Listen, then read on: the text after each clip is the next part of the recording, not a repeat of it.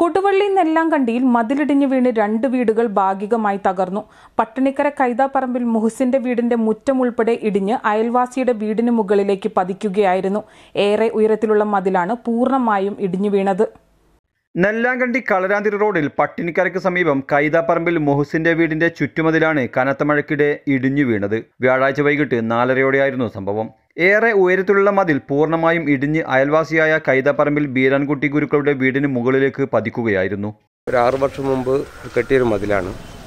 ആ മതിൽ പെട്ടെന്ന് ഇടിഞ്ഞ് ബീരാൻ ഗുരുക്കളെ വീടിന്റെ മുകളിലേക്ക് മറിഞ്ഞ് വീഴുകയുണ്ടായത് ഇപ്പോൾ പെട്ടെന്ന് ആ വീഴ്ചയുടെ റസിയ എന്നാണ് ഈ- വീട്ടുടമേന്റെ പേര്. ആ വീട്ടുടമ ഈ കാഴ്ച കണ്ട് കണ്ട് പെട്ടെന്ന് അയൽവക്കത്തെ ഓടിയാണ്.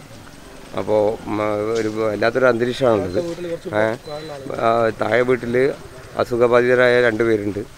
ആ സമയത്ത് ഭാഗ്യവശാൽ അവർ രക്ഷപ്പെടുക ഉണ്ടായത്. വലിയൊരു മതിലാണ് മതിലെല്ലാം കൂടിയും മറ്റേ വീടിന്റെ പുറത്ത് നമ്മൾ മൊത്തം ആയിട്ട് മറിഞ്ഞു കിടക്കുകയാണ്. ഇപ്പോൾ രണ്ട് വീടിനും ഭീഷണിയാണ്. ഈ വീടിന്റെ അടുക്കള ഭാഗത്തു നിന്നാണ് ഇത് മൊത്തം പറഞ്ഞിരിക്കുന്നത് അടുക്കള ഭാഗവും വരെ ഭീഷണിയായി കിടക്കുകയാണ്.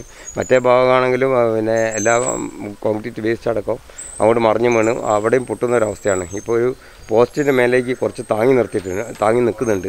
ആ പോസ്റ്റ് പൊട്ടുന്ന സമയത്തോടു കൂടി മൊത്തം ഇനി എന്തൊക്കെ അപകടം സംഭവിക്കാമെന്ന് പറയാൻ പറ്റാത്ത ഒരവസ്ഥ കൂടിയുണ്ട് വല്ലാത്ത ഇപ്പോൾ പിന്നെ എല്ലാ ഫയർഫോഴ്സിന് ആളുകളൊക്കെ ഇവിടെ എത്തിയിട്ടുണ്ട്.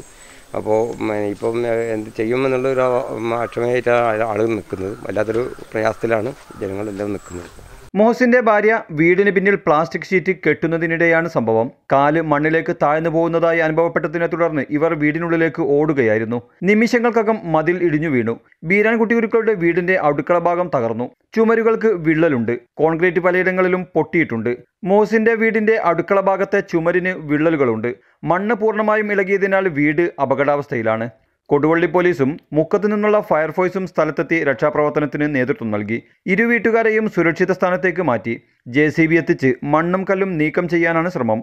മഴ തുടരുന്നത് രക്ഷാപ്രവർത്തനത്തിന് തടസ്സമാവുന്നുണ്ട്. Time Vision News Koduvally.